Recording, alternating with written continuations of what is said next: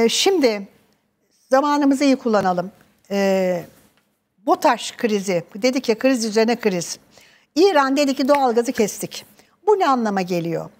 Ee, önce bir e, grafik görelim. Türkiye hangi ülkeden ne kadar doğalgaz alıyor?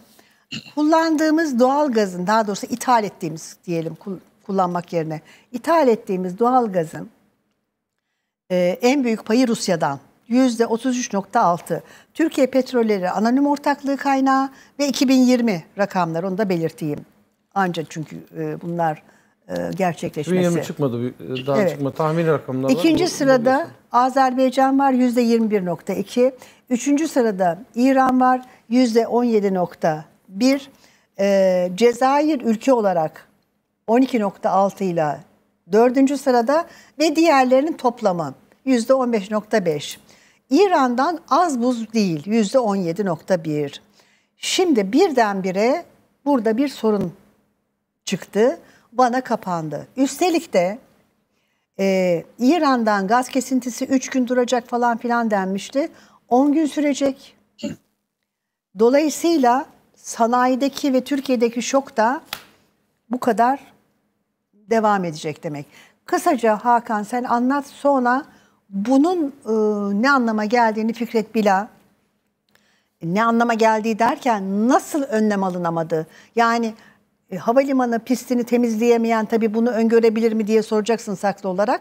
Ben de birazdan Bile'ye aynı şeyi soracağım ama bir anlat. Bize açık metinlerle anlaş, an, an, bir şey açıklama yapılmadığı için biz de yorumlamak zorunda kalıyoruz ama e, işin uzmanı olduk yani. Hı. Bizim bürokrasinin dilini Doğru. çözmeyi öğrendik. Ee, teknik arıza var İran'dan da, e, gaz kesildi dendi. Teknik arıza bunun da süresi süresi belirtilmedi. Yani herhangi bana biraz sonra açacaklar. Bana da bir arıza çıktı herhalde e, dendi. E, bu iş böyle başladı. E, açılacak derken bir anda şirketlerden öğrendik. Özellikle Ege bölgesindeki şirketlerden, özellikle büyük sanayi şirketlerinden bahsediyorum. Yani Bursa'daki otomobil fabrikalarına enerji verenlerden de bahsediyorum. E, Bursa'daki Anladık otomobil ki, fabrikası deyince bir otomobil fabrikasının görüntüsü gelecek. Şimdi şunu söyleyeyim. E, bu fabrikada bakın mesela e, robotlar eliyle bir dakikada bir araba üretiliyor. Yaklaşık 55 saniye diyen de var. Bir dakikada tak tak tak tak tak tak tak tak bir dakikada bir araba. Bir günde hani çift var diye üç var diye çalışıyor diyelim. 1440 dakika var. Yani Devam et. Yani e, bu bilgiyle yüzlerce saat e, iş gücü kaybı demek, iş kaybı demek. Mesele şu bu yan sanayi KDV'si çok yüksek bir ürün bu. Camını başka bir fabrikada ürettiriyorsunuz. Bilgisayar sistemi başka bir yerden geliyor. Belki yurt dışında ama birçoğu yurt dışı, e, yerli e, Türkiye'de özellikle bazı bu, otomobil fabrikaları katma değeri çok yüksek. Lastiği bir yerden geliyor, jantı bir yerden geliyor. Burada birleştiriliyor aslen. On binlerce kişinin iş kapısıyla ilgili bir e, faaliyet bu. E, o yüzden bu üretimin durmasının bedeli bizim için çok ağır. E, sonuçta e, bizim 3 gün işte ne zaman belirsiz olan e, gaz kesintisi, İran'da teknik arızadan kaynaklanan gaz kesintisi işte Bursa'da bu fabrikada e, son buluyor ve çevredeki böyle salkım, üzüm salkımı gibi çevredeki diğer fabrikalara da yansıyor. Ama belirsizlikte biz anladık ki o gün teknik arızadan sonra BOTAŞ bu şirketlere bir yazı yazmış. Demiş ki geçen yılın %60'ından fazla doğalgaz kullan kullanamazsınız kesiliyor. Dikkat edin iki konuyu birleştirip anlamaya çalışıyoruz. Birileri bize bir açıklama yapsaydı ya bu insanlar da ya bu fabrikaları işletenler de hazır olurdu. Oradan iki açıklamayı birleştirerek anlamaya çalıştık ki anladık ki ciddi bir durum var. Önceden de 3 gün kesildi dendi. Hatta gaz açıldı diye bilgi sızdırıldı. Bunlar resmi açıklamalarda e, üstü kapalı geçildiği için bilgi sızdırıldı diye biliyoruz ve açılacak diye bekliyoruz. Ya açılmadı. Hadi ha açıldı açılacak derken hiçbir sorun yok İran'la. Teknik sorun derken biz öğrendik ki BOTAŞ'ın teknik heyeti gitmiş. Teknik evet bakanlar. BOTAŞ'ın heyeti. Ya o teknik sorunsa bu BOTAŞ'ın heyeti orada ne yapacak? Senin İran'la başka bir derdin var. Başka bir sorun var. Ya bizi de bu sorunu hazırlamadınız. İnsanlar planlarını yapamadı. Dolayısıyla biz şimdi 31 Ocak dendi. 31 Ocak'ta sorunu çözmeyi umuyorlar diye anladım ben yani bunu. 31 yani, Ocak'ta Ocağa kadar sorun devam. E, bu bir teknik Öyle sorun görünüyor. değil onu söyleyeyim. Peki Fikret Bila e, başka bir şey var bunun altında diyor muhtemelen çünkü e, net açıklama yapılmıyor. e, milyarlarca dolarlık bir kayıptan Bir ek yapayım mı? bahsediyoruz. Biz yaz aylarında söyleyeyim. İran'la Ee, Pardon Fikret abi. İran'la Evet. Mülteci meselesini konuşamadık. Katar Katar Afganlar geliyordu. Hala da geliyor. Ve ya İçişleri Bakanlığı İran İçişleri Bakanlığı'na konuşamaz mı? Konuşamadılar. Büyük bir sorun var. Ya bir önlem alın sınırınızda. Temas edemediler ve İran yol verdi geçtiler. Son Astana sürecinin devamı Nur Sultan süreci diyeyim artık. Yani Nur Sultan'daki toplantıda yine İran yok. Rusya ile baş başa kaldık. İran'la uzun süredir bir temas yok. Pardon Fikret abi kestim. Estağfurullah. Şimdi şöyle bir e, e, sorun var tabii. Onu önce bir sormamız lazım gazeteciler olarak. Aslında böyle bir sorun yaşamaması lazım Türkiye'nin. Çünkü Tuz Gölü'nün altında doğal gaz depoları oluşturuldu Türkiye'de.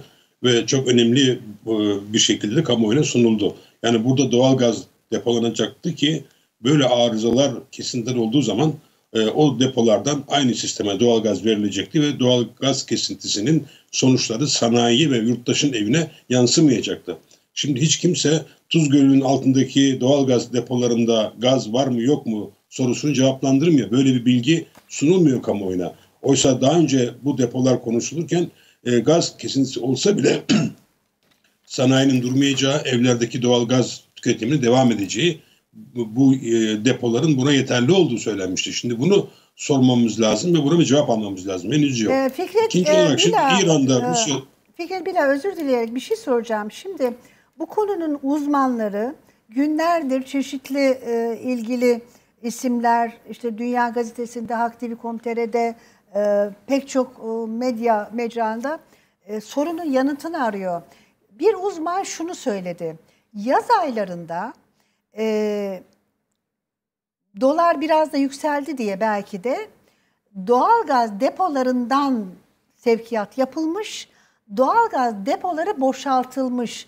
Dolayısıyla tıpkı hazinedeki yedek akçemizin olmaması gibi doğalgaz depolarında yedek gazımız yokmuş. Yani Ağustos böceği gibi yedik mi? Yani Yemişiz. Evet, Evet, gazı Şimdi ben yemişiz. o konuya dikkat çekeyim diye söyledim. Yani bunu Sayın Kılıçdaroğlu da dillendirdi. Ama iktidardan bir açıklama gelmedi. Hani bu doğru değil. Gelmiyor, Biz oradaki evet. ihtiyat, ihtiyat açık e, gazımızı yemedik gibi bir şey gelmedi. Burada bu teknik sorun bu. İşin siyasi boyutuna gelince şimdi İran'da, Rusya'da demokratik e, kurallarla ve şeffaflıkla yönetilen ülkeler değil. Zaman zaman bu gaz e, ihracatını siyasi amaçlarla da kestiklerini tanık olduk. Böyle bir siyasi sebep de olabilir. İki ihtimal konuşuluyor. Ee, İran'ın Türkiye'nin Azerbaycan-Ermenistan politikasından bir rahatsızlığı var. Ee, bu rahatsızlığın bir sonucu olabilir ki geçtiğimiz yıllarda yine aynı yöntemle böyle 9 gün 10 gün İran arıza var diye gazı kesmişti. Rusya ile de biz şimdi bir gerginlik ortamına doğru girdik ve ilerliyoruz. Bunun da nedeni Ukrayna. Ukrayna krizinde Türkiye ABD'den ve Ukrayna'dan yana tavır aldı ve Rusya'nın dikkat çekmesine rağmen SİHA satışlarını durdurmuyor.